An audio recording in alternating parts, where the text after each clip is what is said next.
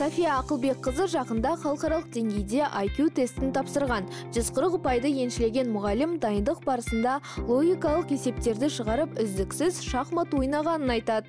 Қазіргі кезде IQ деңгейін дамыту өте актуалды себебі қазіргі заманда заманымыз орнында тұрған жоқ қой тех, әртүрлі технологиялар дамып жатыр әртүрлі жаңа нәрселер күн сайын шығып жатыр да. Сол жаңа нәрселерді өзіміз шығару үшін біз ең бірінші кезекте оқушыларымыздың өзіміздің IQ деңгейімізді жоғарылатуымыз керек. Мынау қазіргі таңда гонконг оңтүстік корея жапония елдері IQ-ды дамыту бойынша бірінші орында тұр ғой. Біз де қазір сол елдер сияқты солардың қатарына қосылу үшін қазірден біз өзімізді ең бірінші өзімізді тәрбиелеуіміз керек. Содан соң біз мұғалім болғандықтан өзіміздің оқушыларымызды дайындауымыз керек соған. Олардың мына сыни тұрғыдан ойлау қабілеттерін дамытуымыз керек.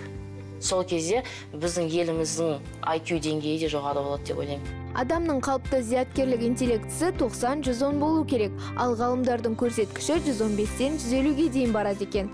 Жеткіншек жаста IQ деңгейі 85-тің шамасында болады. Ал оны қалай дамыту керек?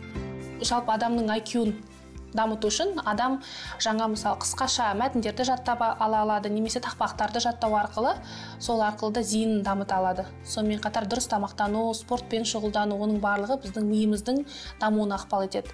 Сонымен қатар психологияда ең жақсы әдістердің бірі осы IQ адамның IQ деңгейін жоғарылату ол медитация жасау. Медитация жасау арқылы біз өзіміздің миымызға тынығып алуға мүмкіндік береміз. Бірінші тыныс алу жаттығуын орындаймыз терең тыныс аламыз. Одан кейін мұрнымыз арқылы демімізді шығарамыз. Одан кейін екі қолымызды қатайтып екі қолымызды жұдырыққа түйіп терең тыныс аламыз.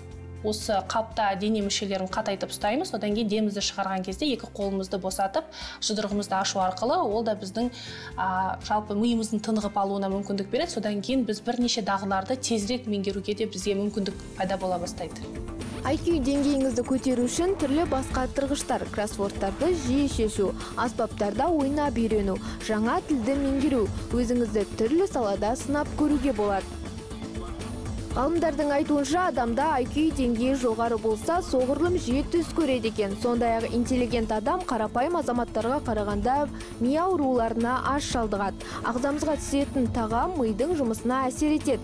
Сондықтан мамандар құрамында консерванттар жасанды амортизаторлар мен бояғыш заттары бар өнімдерді қолданбауға кеңес береді.